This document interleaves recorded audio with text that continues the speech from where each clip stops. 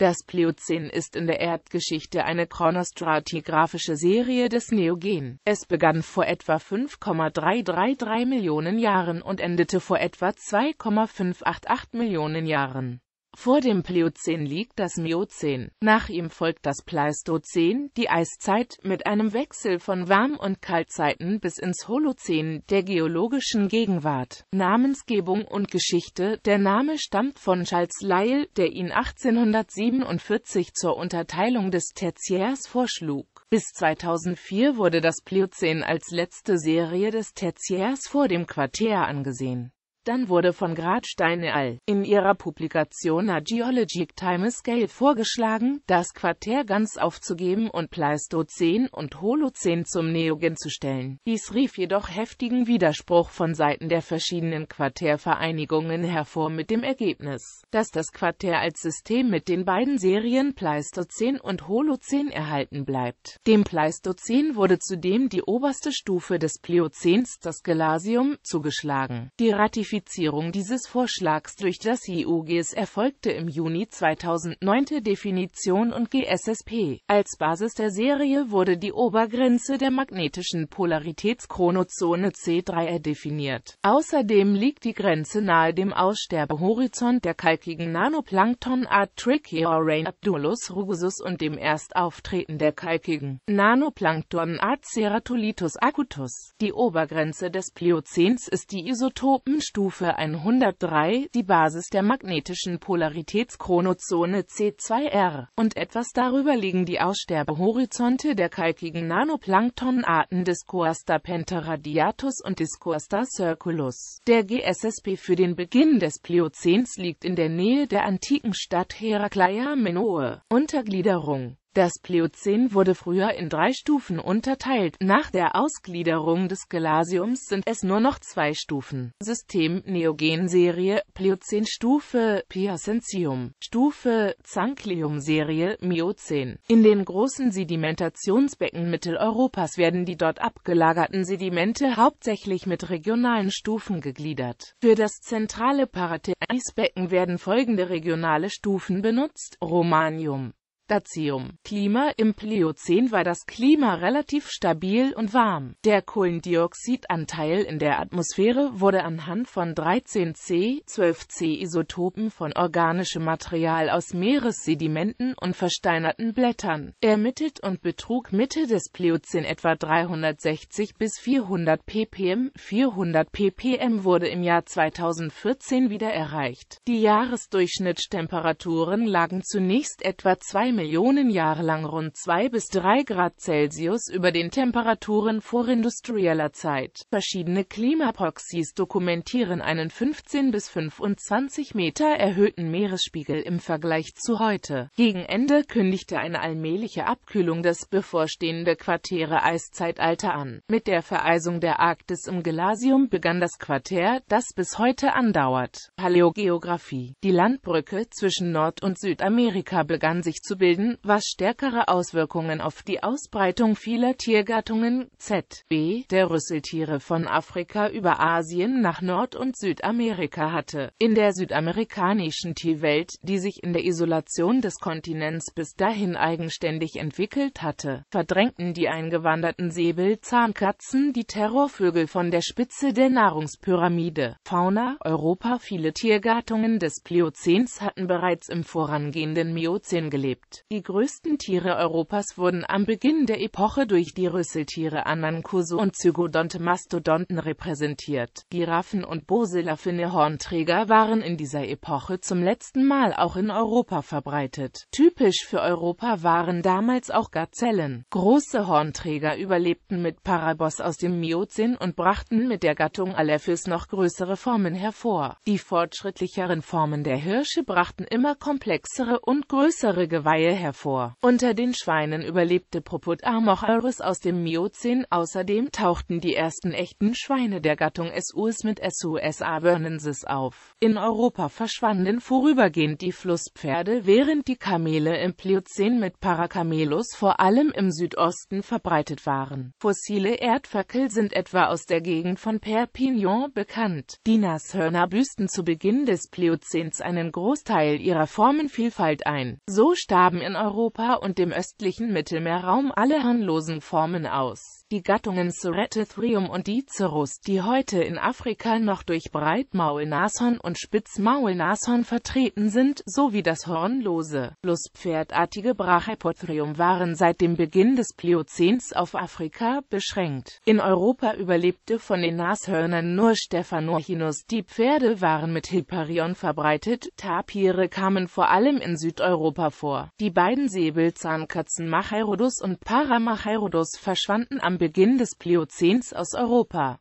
Metaurus wurde durch Dinopheles ersetzt. Hyänen waren durch knochenknackende Formen wie Pachycrocute und kleine Räuber wie Pleoviverops vertreten. Daneben gab es die sogenannten Gepard-Hyänen, die weniger an das Aufbrechen von Knochen, sondern eher an schnelle Verfolgungsjagden angepasst waren. Die Gattung Chesmaeportistes war auch in Afrika und Asien verbreitet und wanderte über die Beringstraße auch nach Nordamerika ein. Auch Geparde waren in Europa mit Azin Onyx pardinensis verbreitet. Kleinere Räuber waren durch Füchse und Marderhunde vertreten. Mit Acryotrium überlebten auch die Bären aus dem Miozän bis ins Pliozän. Die Gattung Ursus, die sich im Miozän Asiens aus Ursavus entwickelt haben dürfte, tauchte im Pliozän mit Ursus minimus erstmals in Europa auf. Affen waren mit Macaca prisque, einem Verwandten des Berberaffen, sowie durch die Gattungen Paradolichopithecus, Dolichopithecus und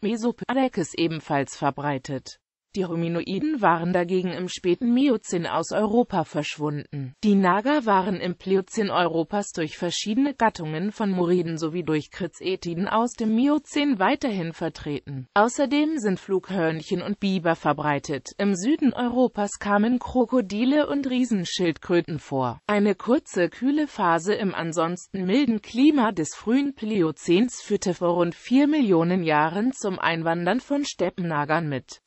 Sigmodon Odontenzähnen wie Trilophomies, Seladensia und Björnkurtenia nach Europa gegen Ende des Pliozäns vor rund 3,2 Millionen Jahren verschwanden in Europa die letzten Giraffen. Der große Hornträger Parabos wurde zu dieser Zeit durch die Gattung Leptobos ersetzt, der bereits stark an heutige Rinder der Gattung Bos erinnerte. Weitere Hornträger, die nach Europa einwanderten, waren Gazellospira, Megalovis pliotragus. Dazu kamen die ersten Hirsche der heutigen Gattung Cervus sowie erste Vertreter der Riesenhirsche. Unter den Raubtieren tauchte ebenfalls vor etwa drei Millionen Jahren die Puma-ähnliche Katze Vaertelurus schaubi zum ersten Mal auf Außerdem erschienen erstmals hochentwickelte Machirodontine Säbelzahnkatzen wie Megantherion und Homithrium. Am Ende des Pliozäns vor etwa 2,6 Millionen Jahren setzte eine Abkühlung des Erdklimas ein, in deren Verlauf Mammuts einwanderten und die alten Rüsseltiere wie Anankus ersetzten. Gleichzeitig wurden die Hipparionen durch moderne Pferde der Gattung Equus ersetzt, die sich vorher in Amerika aus Pliohippus entwickelten. Zwei weitere Einwanderer am Ende Ende der Epoche waren Eukladocerus, ein großer Hirsch mit sehr komplexem Geweih und Libralce sein früher Elch. Dazu kamen die Hornträger Gallogoral und Prioovibos. Letzterer war ein Vorläufer des heutigen Muschusochsen und ersetzte offenbar Megalovis und Pliotragus. Gleichzeitig verschwanden die Gazellen aus Europa. Zu den neuen Einwanderern zählten auch Vorläufer der heutigen Wölfe, die in Europa mit Canis etruscus erschienen, sowie der europäische Jaguar. Die Gepardhyänen verschwanden zu dieser Zeit, die große Katze Dinopheles hatte sich sogar bereits etwas früher aus Europa zurückgezogen. Die Krokodile, Riesenschildkröten und Tapire verschwanden ebenfalls aus Europa. Durch diese Wechsel bedingt glich die Fauna der folgenden Epoche des Pleistozäns bereits stark der heutigen Tierwelt. Asien Asien war mit Europa verbunden und beherbergte größtenteils ähnliche Tierformen. Allerdings überlebten hier einige Formen, wie die Chelikarin und Giraffen länger. Typisch für das Pliozän Asiens ist auch die Nashorngattung Rhinoceros. Afrika Die Rüsseltiere waren im Pliozän Afrikas reichhaltig durch Elefanten,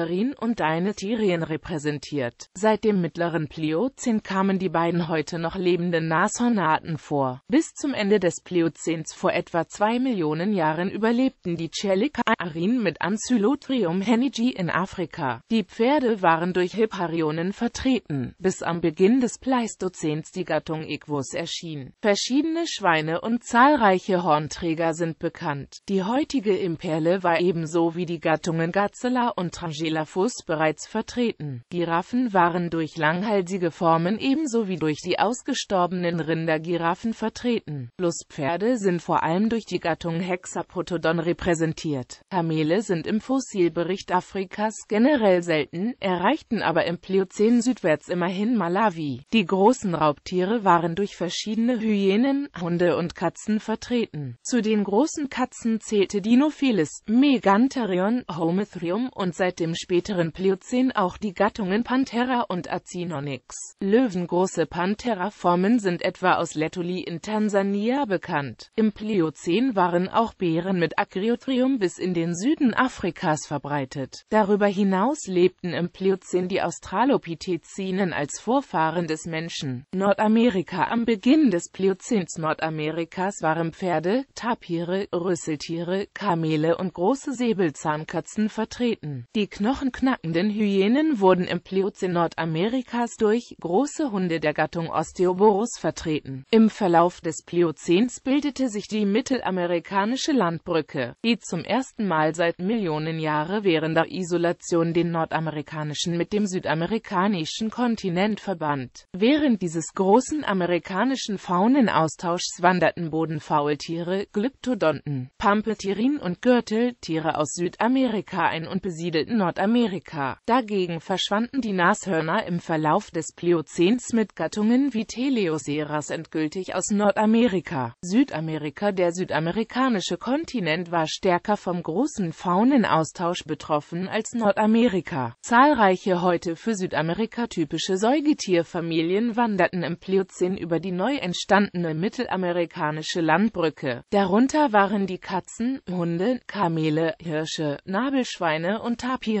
Auch einige Familien, die erst ganz am Ende des Pleistozäns wieder aus Südamerika verschwanden, so etwa die Pferde- und Gompho-Arien, wanderten damals ein. Sie ersetzten die einzigartige Fauna des südamerikanischen Pliozäns zum großen Teil. Zahlreiche südamerikanische Säuger, die sich in Südamerika isoliert entwickelt hatten, starben aus und wurden durch die Einwanderer aus dem Norden ersetzt.